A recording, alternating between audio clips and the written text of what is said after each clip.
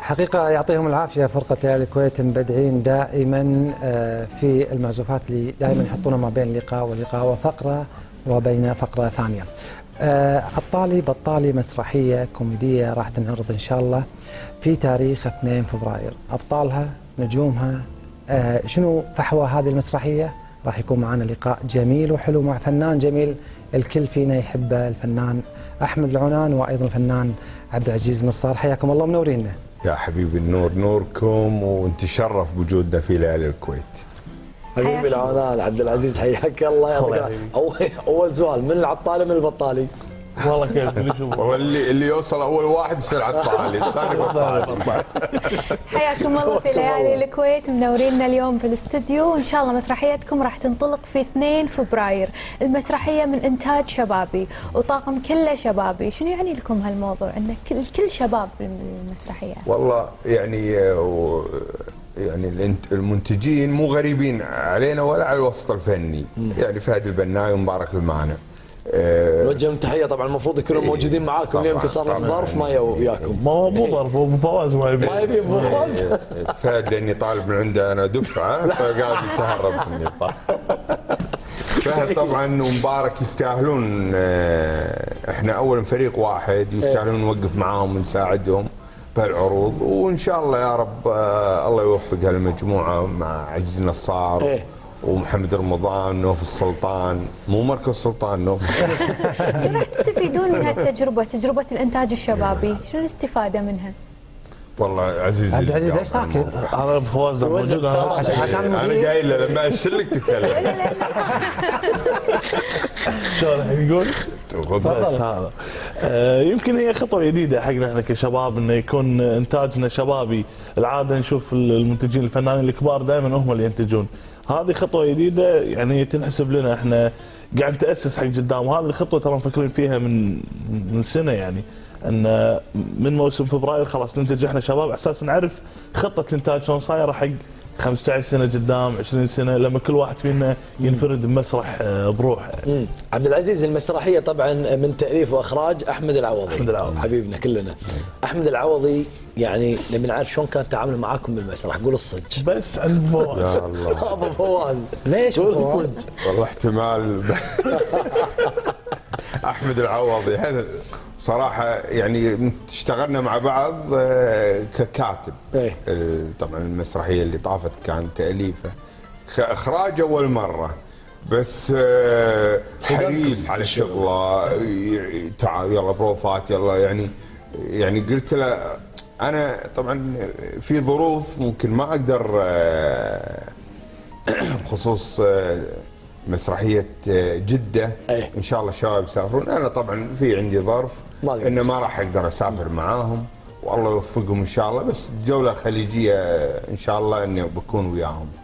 آه، الكل بيسافر.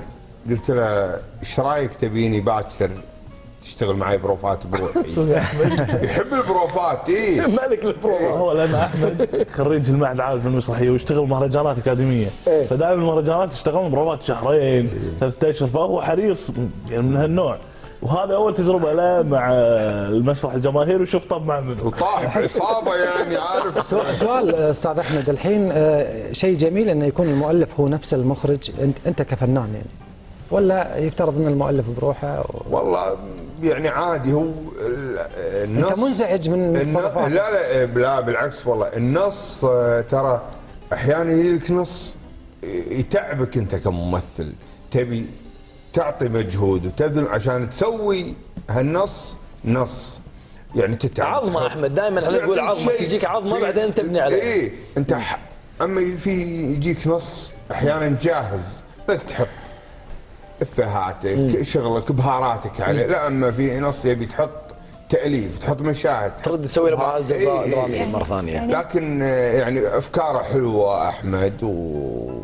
وإن شاء الله انه مستمرين يا رب. بإذن الله تعالى. إي والله إذا ما إذا سنع أموره وظروفاته أنا يمكن بصراحة شدني اسم المسرحية عطالي بطالي وللحين ما عرفنا من العطالي قال البطالي. يمكن عبد ما الله. ما رديتوا على إيه. الجواب لكن إحنا نبي نوضح حق المشاهدين شغلة كل شخص فيكم جسد عدة شخصيات مختلفة نبي نعرف مع المشاهدين شنو الشخصية اللي كل واحد فيكم قدمها. يعني قدمها ولا بيقدمها؟ لا بعد طالي. بيقدمها. قدمها، عالطالي بالطالي آه، يمكن هي نوع جديد من من المسرحيات اللي إحنا ما قدمناها.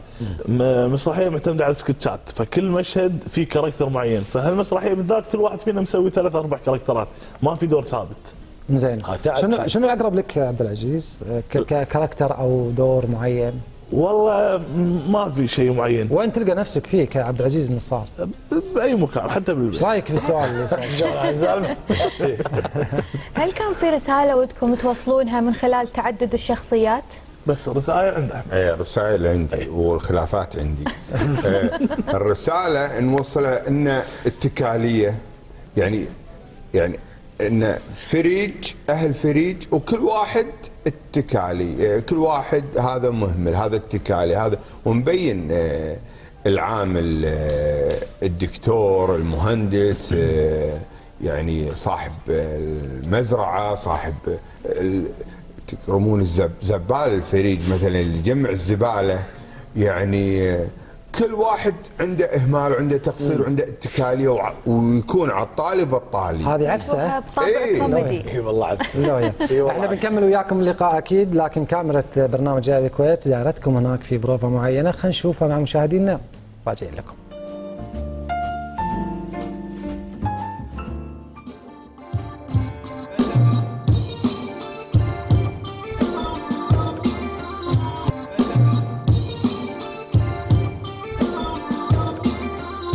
مسرحية عطالي بطالي الأدوار صايرة كلها أصلا و ومثل ما تقولين عظمة المسرحية صايرة على الشخصيات نفسها. كقصص الشخصيات كل شخصية وقصتها عاد وشنو الرسالة اللي بنقولها من خلال الشخصية نفسها.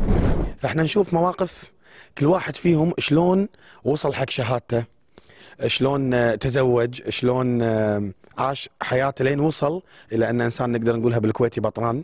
على النعمة لين نشوف في النهاية انه وين ممكن يوصلنا هذا الشيء اللي إحنا قاعدين نعيشه.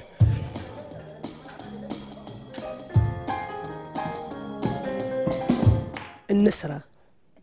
إيه النسرة اللي اللي سك اللي رايلها سكانها. اللي هي تمشيك روح اطبخ لي روح سوي لي روح يلا كوه هدومي مشت شعري. النسرة هذه النسرة اللي ماكلة الجو على الريال. مسرحية كوميدية هادفة تتكلم عن جوانب اجتماعية كوميدية اقتصادية من كذا جانب تتكلم. حياكم الله تاريخ 2 2 على مسرح الدسمة وتنورونا وإن شاء الله نكون عند حسن الظن.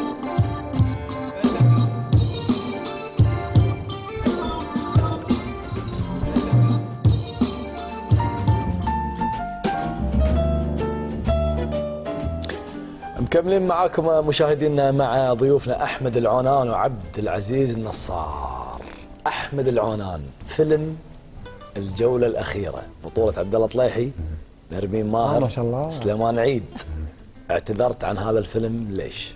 الله آه، كان ودي أشارك الفيلم هذا مع مجموعة. بطولتك الفيلم كان بطولة. لكن آه، لا والله بطولتك يا, يا. أخوي عبد الله. وتستاهل. بس إنه كان عندنا آه، ظروف عروض المسرحية عروض المسرحية. برا. اي ما قدرت. آه، لكن راح أنزل إن شاء الله بنفس الوقت ونفس التاريخ معاك في فيلم منافس. سفرة خمس نجوم مع عبد الله بهمن. بإذن الله آه منافسة بإذن الله. إيه، موجودة شلون؟ منافسة إيه. إيه، موجود آه، أحمد العونان لو بقول لك توجه سؤال حق عبد العزيز شنو توجه له؟ حكي عاد هو قال لك أبو فؤاد له. عندك عزوز مستانس وياي شنو السؤال؟ هذا حتى ما تسالني لا، سؤال سؤال لا هو قبل شوي هو قبل شوي قال الاسئله والرسائل عند أحمد. الحين أنا أقول لك وجه له سؤال آه، نبي سؤال يعني. مو مستانس عزوز شنو الدور اللي ودك تقوم وتسويه؟ يقوم انت نفس السؤال سالتني اياه داخل سألك المعد. عزوز. ثلاث وردات تهديهم حق؟ عبد العزيز انت اسال أحمد. آه، صدق منو الهدف الغالب؟ منو الهدف القادم؟ إداري بيكون. إداري. إيه، هذا اشياء خاصه ما أقدر إحنا مو فاهمين هالشفرات هذه. حلو. مو فاهمين. آه، آه، يعني في في عندكم رحلات خليجية وأعتقد توكم رادين في عرض آه، في راس الخيمة في دولة الإمارات العربية. شلون ردة فعل آه، الجمهور هناك؟ وكان في حضور آه، أبو فواز؟ عزوز ليش؟ أنا عشان لا سمعت- تقول؟ ما ك- ما خلاني. أسولف. لا والله بقول أبد والله ما أتكلم عن راس خيمه طال عمرك راس الخيمة اولا نشكرهم يعني حاكم الإمارة. ليه أصغر واحد في إمارة رأس الخيمة؟ حفاوة وتقدير ومو حكي. صدق والله, أي والله. شالونا شيل. أقول لك والله النبي تبي تطلع تبي تروح حتى القهوة مطعم عز ما في. يعني شنو هالتقدير؟ شنو قلت يبا والله إن جيت هناك ما نسوي اللي قاعد تسوونه. جزاك تقدير وما قصروا. مو جديد عليهم. مو رحنا في جولات كانت في أمريكا في آه، بلندن بس مثل هالجولة هذه الأخيرة كانت فعلا مسك الختام للحكم لكم. الحين طبعا إحنا عندنا في ليالي الكويت كل شيء مميز ونبي الشيء مشاهدين ليالي الكويت يستاهلون. في شيء من المسرحية الجديدة. عطنا شيء أبو فواز؟ والله ما أقدر نستاهل. يا أخي قول. نستاهل. لا. يلا أبو فواز. والمشاهد يستاهل بعد. والله المشاهد يستاهل. يبي فيه؟ اي حق ليالي الكويت. شيء حصري. ها حصري. حق ليالي الكويت. أنت المدير بعدين اللي موجود. والله خل على سؤالين العزوز على ما الحين كل خلاص أنا أسأل عزيز. آه، عزيز. أنا طبعا يعني تابعتك في المسرحيات. حبيتك لما قدمت مسلسل اللي كان من انتاج عمرو صباح اللي كان أخوك عبد الله السيف عدل؟ إيه، مسافات. شو اسمه؟ مسافات. مسافات. شنو اللي جاي؟ الجاي والله ماكو شيء. في عمل كوميدي إن شاء الله حق رمضان مع أبو علي حسن البلام وأحمد العونان ومجموعتنا هذه الشبابيه مسلسل كوميدي. كوميدي. دراما للحين ماكو شيء. آه إذا في شيء على طول بنصرح فيه. بصراحه حبيت الدراما.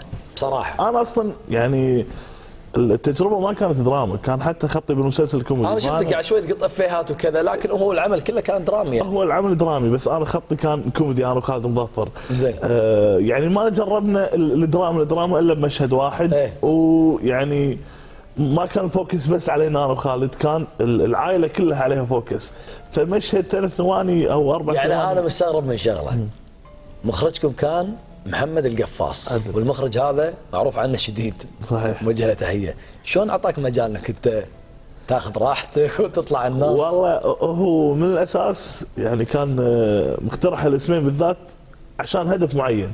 فإذا بيجيبنا وبيحكرنا على قولتك ما ما راح آه، يعني ما راح نفيد ال- المسلسل. وهو الأمانة بعد كان شديد معنا. يعني في أماكن وايد. أماكن وايد قال لنا لا لا تقولوا لا شيلوا لا نظفوا. بس الحمد لله تجربة كانت حلوة الله يعطيكم العافية الفنان أحمد العونان ليش دائما يكون يعني المدير حق العمل أو المشرف حق الإنتاج دائما يكون شديد ليش يعني؟